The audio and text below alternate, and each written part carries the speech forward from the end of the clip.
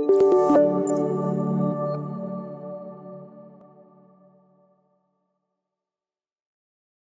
Creating lesson plans from scratch is tough without a primer on how to do it.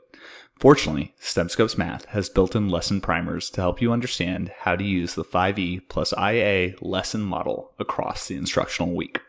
While we understand that this may not work for all schools during this difficult time of distance learning, it does provide a good basis on how to start formatting your own lesson plan. You can find these lesson planning guides in the toolbox on the right navigation column.